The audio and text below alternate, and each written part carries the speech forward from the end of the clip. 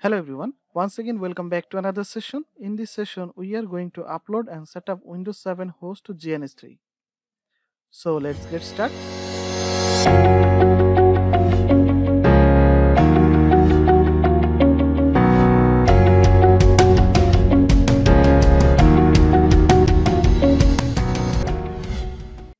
Open GNS3 client.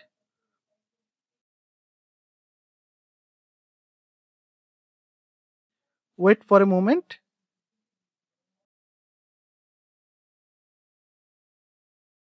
In server summary, we can see two server. One is local server, another one is GNS3 VM. To upload Windows 7 host to GNS3, go to edit and then click on preference. Here we can see under QEMU section QEMU VMs, select it and click new and select run this QEMU VM on the GNS3 VM. Click next, name it Windows 7.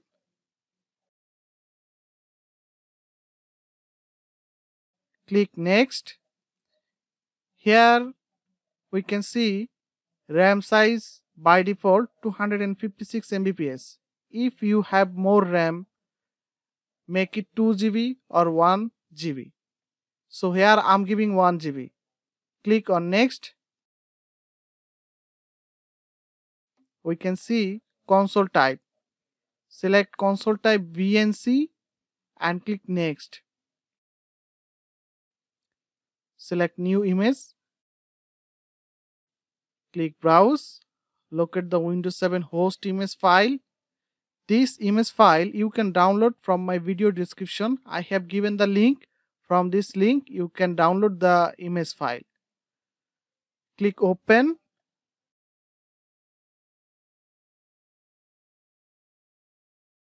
We can see it's uploading.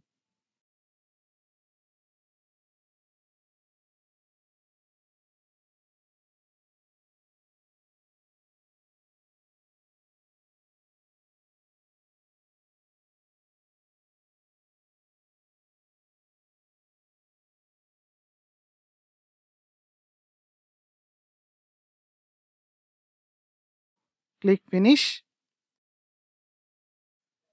We can see the windows 7 host which we have uploaded.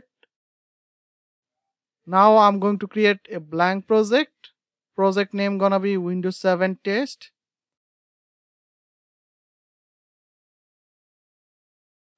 Let's take windows 7 host.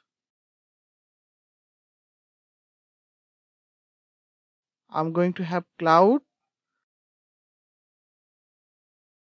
Now I'm gonna have cable to connect Windows 7 host into cloud Ethernet 1. Let's power on the Windows 7 host. I'm going to have console. As you can see, Windows is starting.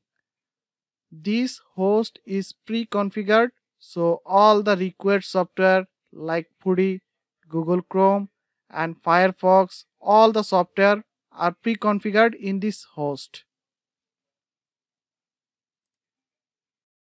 We can see Windows 7 is ready for login. Here is the password is 123. So when you log in this host, use the password 123. We can see the desktop which is the Windows 7 host that is from GNS3. Now we will test the connection from this host. Open CMD ping to Google DNS 8.8.8.8 and we can see it's replying.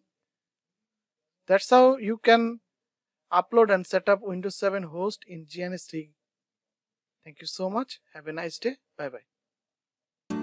Música